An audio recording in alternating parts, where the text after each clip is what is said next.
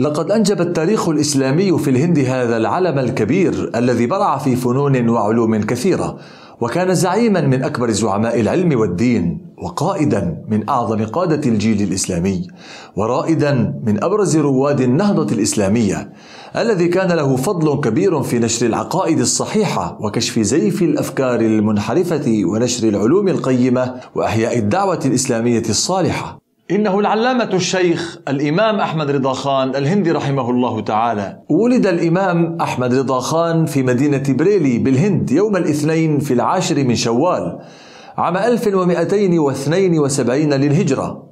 الموافق الرابع عشر من حزيران سنة 1856 للميلاد في وسط أسرة علمية دينية صالحة. فوالده الشيخ المفتي نقي علي خان كان عالما كبيرا فقيها وجده المربي الصالح المفتي رضا علي خان وقد تأثر بهما كثيرا. لم يكن الإمام أحمد رضا عالما في العلوم الدينية الرائجة فحسب بل كان متبحرا في كثير من العلوم الدينية والدنيوية والفنون الأخرى. حيث بلغ ما استوعبه وأتقنه من العلوم والفنون أكثر من خمس وخمسين علما وفنا. له قلم سيال وفكر حافل في مجال التصنيف والتأليف والكتابة. وترك في التراث العلمي أكثر من ألف كتاب. ما بين تآليف نافعة وحواشي جليلة ورسائل دقيقة. أكبرها العطايا النبوية في الفتاوى الرضوية. في ثلاثين مجلدا ضخما أفتى بها في مسائل شتى.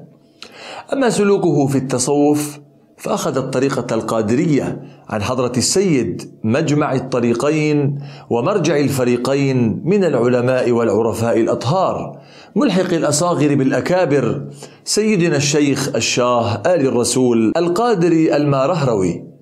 ونال منه الإجازة والخلافة في سلسلة الأولياء وإجازة في الحديث وجميع الفنون أيضا. وكان الشيخ آل الرسول من كبار تلاميذ الشيخ عبد العزيز الدهلوي رحمهم الله تعالى. وغربت هذه الشمس الساطعة للعلوم والحكم في الخامس والعشرين من شهر صفر عام 1340 للهجرة الموافق سنة 1921 للميلاد وقت صلاة الجمعة أثناء قول المؤذن حي على الفلاح ببلدة بريلي. حي على الفلاح.